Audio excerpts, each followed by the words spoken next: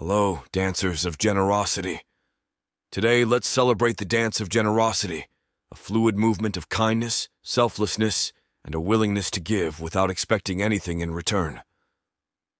Generosity is not just about material gifts, it's about giving our time, attention, and compassion.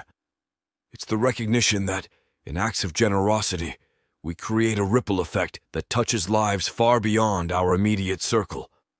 Consider the transformative power of generosity, the way it creates a culture of abundance, strengthens communities, and brings joy to both the giver and the receiver. With generosity, we become conduits of positive energy, contributing to a world where compassion is the currency of connection. So, my fellow dancers, let's embrace the dance of generosity. Let's look for opportunities to give, uplift others, and remember that, in the dance of generosity, we contribute to a world that thrives on shared goodwill.